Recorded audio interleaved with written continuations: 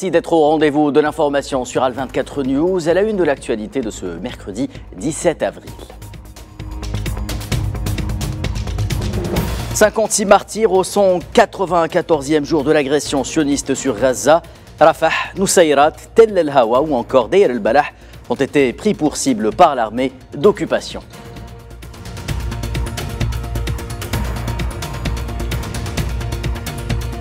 Et depuis le sud du Liban, le Hezbollah riposte aux attaques sionistes de la veille en ciblant la Cisjordanie occupée au moment où les tensions régionales avec l'Iran montent d'un cran.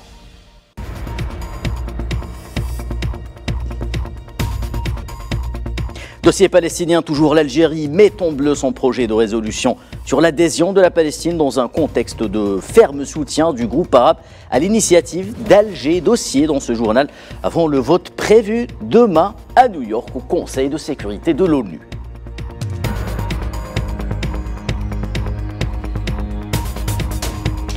Dans le dossier libyen, clap de fin entre Abdoulaye Batili et la Manul, l'émissaire onusien remet la balle au centre dans un pays de nouveau plongé dans l'incertitude.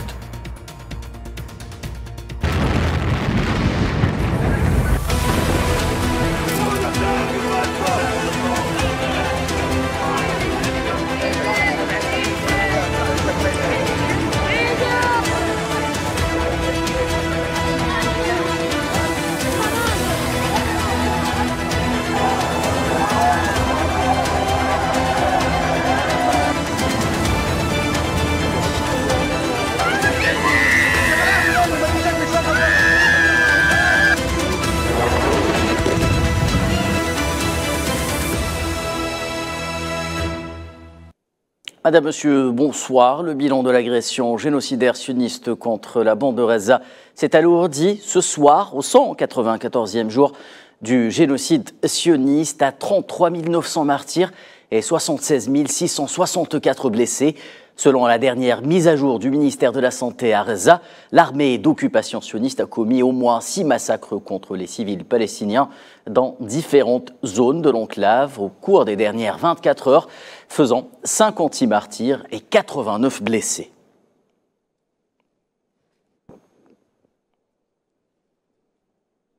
Et au moins 10 martyrs, dont 4 enfants, sont tombés durant les derniers bombardements qui ont touché la ville de Rafah hier soir et aujourd'hui, notamment lorsque l'armée sioniste a honteusement bombardé une maison appartenant à la famille Aboul Hounoud dans le camp de Yebna au centre de Rafah.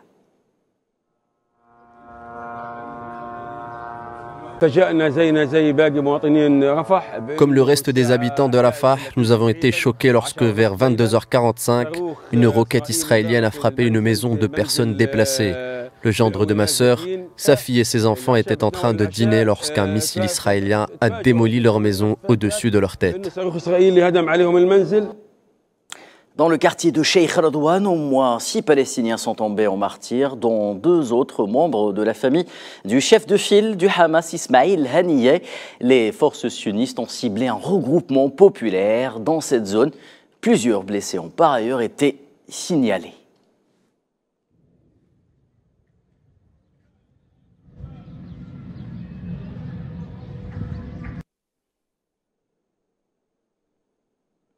À Shoujaïa, au moins deux personnes sont tombées en martyr, plusieurs autres ont été blessées, alors que neuf sont toujours portés disparus, et ce dans le bombardement de l'armée sioniste contre une maison appartenant à la famille Abu Saada, située dans la région de Sha'af, à l'est de la ville de Reza.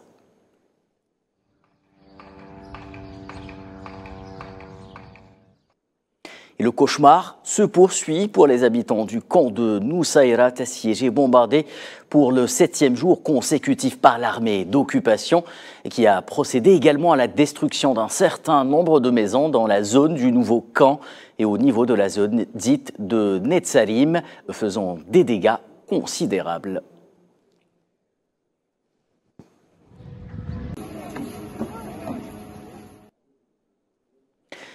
L'angoisse absolue pour les habitants de Rafah qui ont plus de subir les bombardements de l'armée d'occupation en payant à chaque fois un lourd tribut, doivent compenser avec le risque d'une incursion terrestre imminente. Souila Kilal.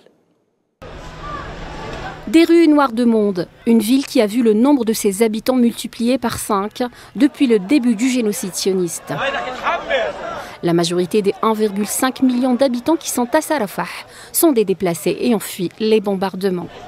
Ce beau monde vit avec une épée de Damoclès au-dessus de la tête. La menace d'une invasion sioniste sur Rafah n'a jamais été aussi réelle et palpable, ce qui accroît les craintes des Razaouis qui s'y trouvent.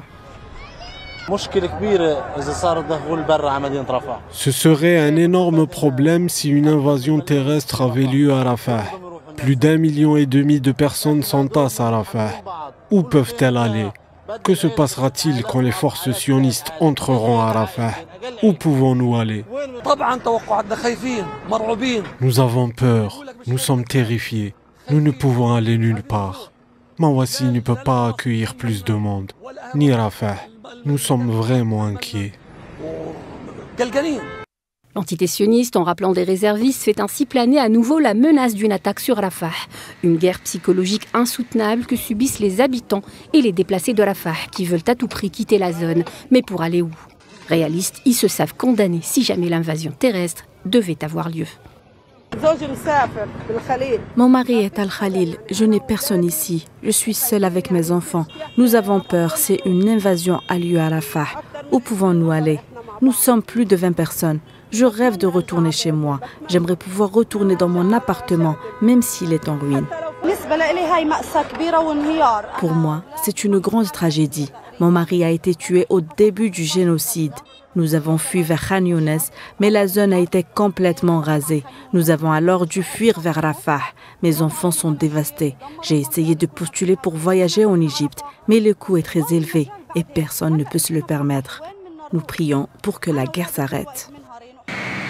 L'éventualité d'une opération sur Rafah suscite de vives critiques et des inquiétudes internationales, vu la tragédie humaine qui s'en suivrait. Selon certaines informations relayées par les médias, le principal cadre opérationnel a été approuvé par l'état-major général de l'armée sioniste et le ministre de la Défense, Yoav Galan.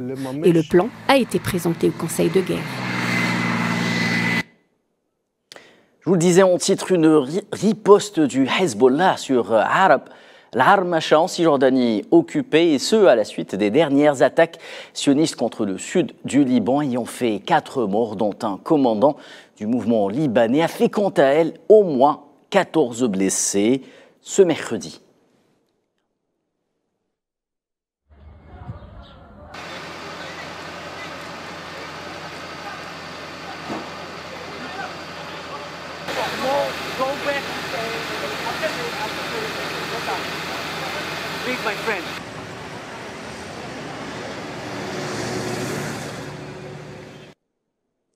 Les tensions entre l'Iran et l'entité sioniste montent d'un cran depuis l'épisode de la riposte de Téhéran à l'agression sioniste. Au jour de la célébration de la journée de l'armée, l'accent est mis sur les moyens militaires dans le cadre d'une parade en guise d'avertissement au régime d'apartheid. Safwan. L'escalade poursuit son cours entre Téhéran et Tel Aviv. L'entité sioniste a promis une riposte à la réponse iranienne du 13 avril, une opération massive ayant saturé le dôme de fer. L'offensive iranienne a permis de briser un tabou. Depuis 1991, l'entité sioniste n'avait subi aucune attaque venant d'un pays étranger. Par ailleurs, c'est la première fois que l'Iran attaque frontalement l'entité sioniste. Étant donné la nature inédite de l'événement, Tel Aviv a juré de le faire payer à l'Iran. Et ce, malgré les appels internationaux prenant la retenue dans un Moyen-Orient particulièrement inflammable. À l'occasion de la journée nationale de l'armée, le président iranien Ibrahim Raisi a répondu aux menaces des dirigeants sionistes. L'opération iranienne a fait tomber la gloire du régime sioniste. Si le régime sioniste fait la moindre chose pour violer notre territoire et nuire aux intérêts nationaux de la République islamique, il doit comprendre qu'il fera face à une réponse sévère et lourde. Selon l'ancien directeur de la CIA, David Petreus, L'entité sioniste a envie de réagir. Cependant, la nature de la réponse serait encore en cours de discussion au sein du cabinet de guerre. L'entité sioniste pourrait attaquer au Yémen, au sud Liban, en Syrie, en Irak, si celle-ci veut procéder à une attaque indirecte. Autre possibilité, l'Iran pourrait subir une attaque directe sur son territoire, ce qui ouvrirait la voie à une escalade incontrôlable. Et des nouvelles des négociations ou des pourparlers de cessez-le-feu entre le Hamas et l'entité sioniste. Le chef de la diplomatie qatari, partie prenante de la médiation, a déclaré que ces négociations traversaient une phase difficile et qu'elles oscillaient entre progrès et faux pas.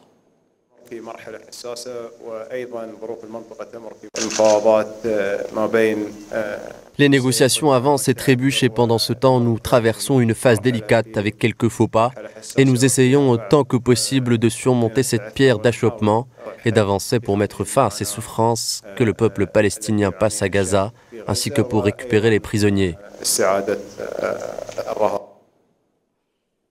Et ce mercredi 17 avril coïncide avec le 50e anniversaire de la journée du prisonnier palestinien, alors qu'ils sont des milliers à subir les pires exactions dans les geôles sionistes, malgré les nombreuses condamnations des pratiques sionistes contraires à l'ensemble des règles internationales en la matière. Les prisonniers palestiniens continuent d'écrire l'une des pages les plus sombres de l'histoire des droits humains. Iman Merad. Le peuple palestinien commémore le 50e anniversaire de la journée du prisonnier, date dans laquelle le premier prisonnier palestinien fut libéré lors du premier échange des prisonniers entre les Palestiniens et l'occupant sioniste le 17 avril 1974. Cette année, la journée internationale de solidarité avec le peuple palestinien intervient dans un contexte extrêmement pénible où les arrestations dans les territoires occupés ne cessent de s'intensifier depuis le 7 octobre dernier. À ce jour, d'après les chiffres rendus publics récemment par la Commission pour les affaires des prisonniers et le Club des prisonniers palestiniens, le nombre de Palestiniens arrêtés par l'armée sioniste en Cisjordanie occupée s'est élevé à 8270 depuis l'opération Déluge el-Aqsa, dont 3500 en détention administrative sans procès ni inculpation. Le nombre de femmes prisonnières sur le nombre total de prisonniers de 80, dont 3 femmes détenues avant le 7 octobre, ainsi que plus de 200 enfants. Parmi le nombre total de prisonniers dans les geôles de l'occupation, le nombre de prisonniers administratifs a atteint plus de 3660 détenus, dont 22 femmes et plus de 40 enfants. Les conditions de détention dans les geôles sionistes sont dénoncées depuis des décennies par les ONG. Selon les témoignages des prisonniers libérés, les mauvais traitements et l'oppression des prisonniers, les tortures, les punitions et les privations de tout ce qui est nécessaire à la vie se poursuivent le crime de disparition forcée et de non-communication d'informations se poursuit jusqu'à présent sur les détenus dans la bande de Raza. Les données de l'administration pénitentiaire sont au nombre de 849 détenus. Plusieurs événements ont été organisés en Palestine et dans le monde en soutien aux détenus qui subissent toutes sortes d'exactions dans les prisons de l'occupation sioniste. L'Union interparlementaire arabe a exhorté les organisations internationales de défense des droits de l'homme et toutes les parties concernées à assumer leurs responsabilités pour dénoncer les graves exactions incessantes commises à l'encontre des prisonniers palestiniens. Et direction les États-Unis où les employés du géant de la tech Google ont protesté contre la conclusion d'un contrat avec l'entité sioniste. Ils dénoncent entre autres une instrumentalisation de la technologie et de l'intelligence artificielle à des fins de guerre et de génocide contre le peuple palestinien.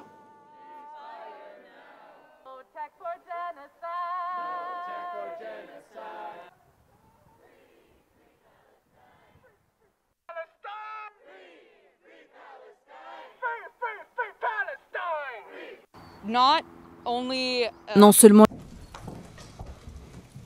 uh, non seulement le manque de transparence concerne, mais aussi le contexte dans lequel le contrat est conclu. Nous savons que le génocide à Gaza est l'un des ou le premier génocide alimenté par l'IA. Nous constatons donc que la technologie est à l'avant-garde de la rationalisation de ce génocide contre les Palestiniens. L'Office de secours et de travaux des Nations Unies pour les réfugiés de Palestine, UNRWA, était au menu d'une séance d'information publique ce mercredi au Conseil de sécurité des Nations Unies. Le commissaire général de l'UNRWA, cette réunion a été programmée après que la Jordanie a demandé qu'une réunion du Conseil au niveau ministériel soit organisée sur les défis auxquels l'UNRWA est confrontée dans une lettre adressée le 1er avril dernier au président du Conseil de sécurité.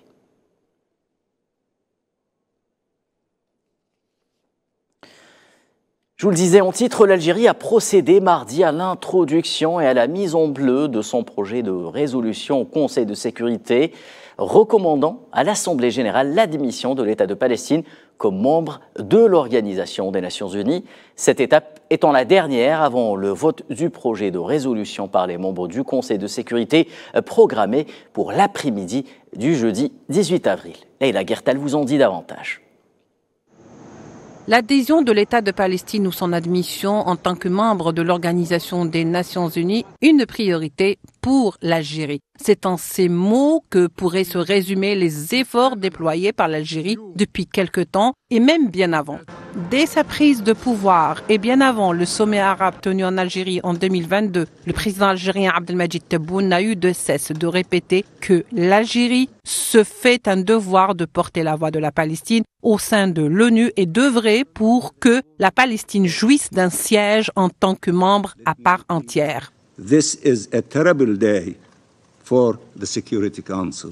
Cette démarche fait suite aussi à tous les efforts inlassables déployés par l'appareil diplomatique algérien. La tâche de l'Algérie et de sa diplomatie, dont l'efficacité et la perspicacité ne sont plus à démontrer, sa tâche consiste à mobiliser le plus grand soutien possible pour permettre à la Palestine d'obtenir ce statut.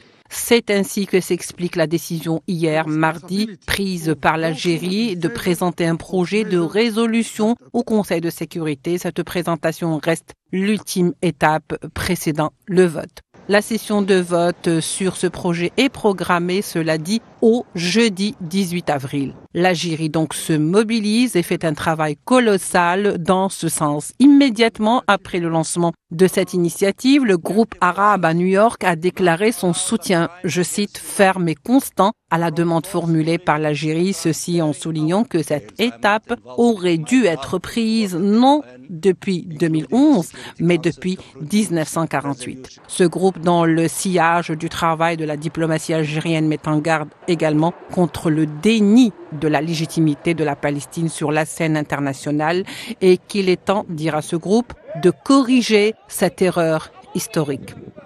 L'Algérie s'est donnée pour engagement et sur fond de cette guerre sauvage menée contre Raza par l'entité sioniste de faire de la Palestine sa cause et son objectif, celui d'un État membre qui mérite sa place, toute sa place, au sein du concert des nations.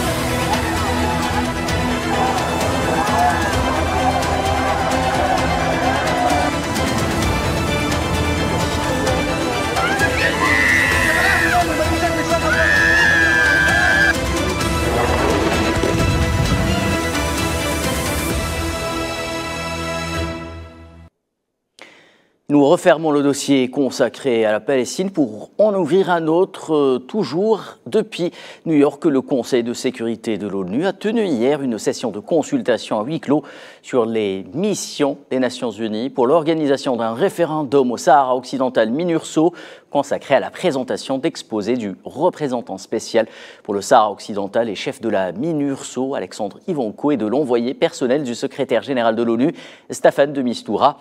Lors de cette session, de nombreux États ont souligné dans leur déclaration la nécessité de parvenir à une solution pacifique et juste qui garantisse en permanence l'autodétermination du peuple sahraoui sur la base des résolutions des Nations Unies et que la MINURSO doit pleinement assurer la mise en œuvre de son mandat. Conseil de sécurité, toujours, le chef de la diplomatie algérienne Ahmed Attaf a pris part ce mercredi à New York à une réunion consacrée au rôle de la jeunesse dans la lutte sécuritaire en région méditerranéenne. And I give the floor to His Excellency Mr. Ahmed Attaf, Minister of Foreign Affairs and National Community Abroad of Algeria. Et 18 mois après sa nomination à la tête de la Manu, l'émissaire onusien en Libye, Abdoulaye Batili, annonce sa démission de ce poste lors d'une séance consacrée à la situation au pays, en invoquant une série de problèmes et d'entraves ayant rendu sa tâche presque impossible. Neila Hamouda. J'ai présenté ma démission au secrétaire général et je l'ai expliqué pour diverses raisons et bien sûr, c'est au secrétaire général d'en tirer les conclusions. Plus d'un an et demi après sa nomination, Abdoulaye Batili, l'émissaire de l'ONU pour la Libye, jette l'éponge. Il a été nommé à la tête de la mission des Nations Unies en Libye afin de contribuer à mettre le pays sur la voie des élections pour permettre au peuple libyen de décider de son propre avenir.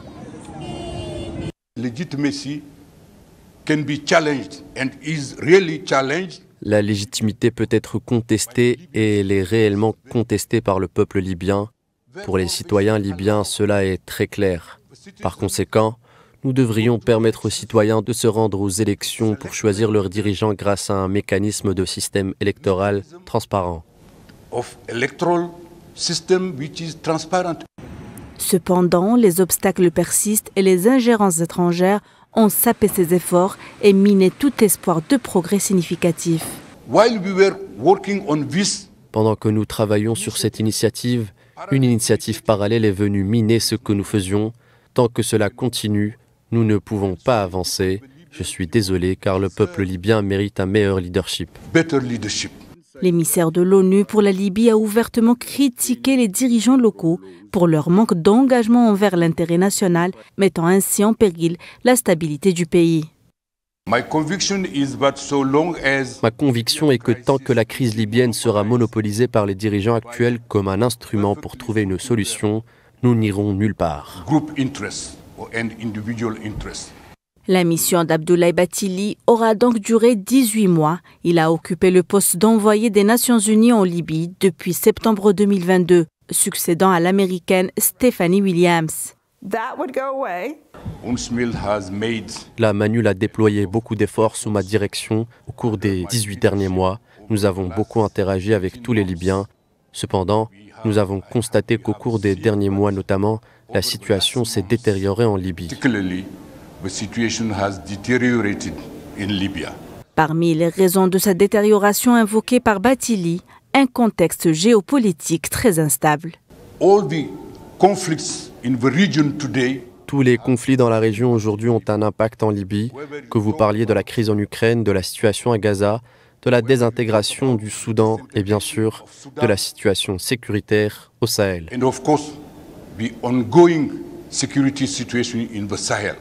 En attendant de connaître le successeur de Batili à la tête de la Manule, la Libye s'engage de nouveau dans un terrain miné au détriment du seul peuple libyen. Allez, actualité nationale en clôture de ce jour-là, le président algérien Abdelmajid Tebboune a présidé et chef suprême des forces armées, ministre de la Défense nationale, a présidé ce mercredi une réunion du Haut Conseil de sécurité, indique un communiqué de la présidence de la République algérienne.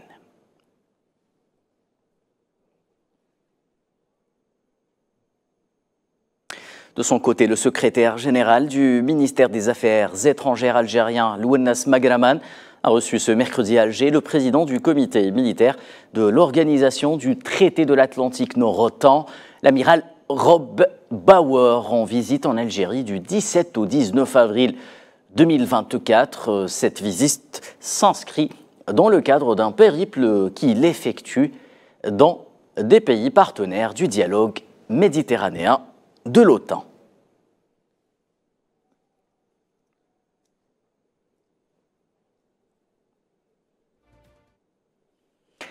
Et c'est donc la fin de ce journal, un programme que vous pouvez revoir dans nos différentes plateformes Internet, la suite avec l'échiquier international présenté par Leila Gertal.